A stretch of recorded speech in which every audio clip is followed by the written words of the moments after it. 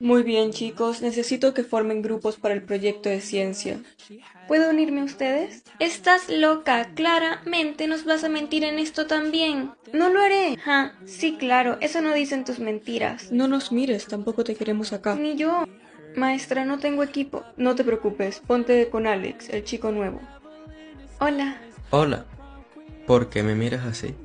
Ah, lo siento. No te preocupes, hagamos el proyecto. Quiero salir de esto rápido. Sí, yo también. Entonces, ¿nos vemos en mi casa para terminar el proyecto?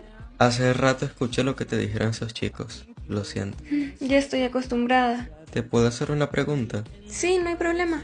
¿Por qué has dicho tantas mentiras? Digamos que es más complicado de lo que parece.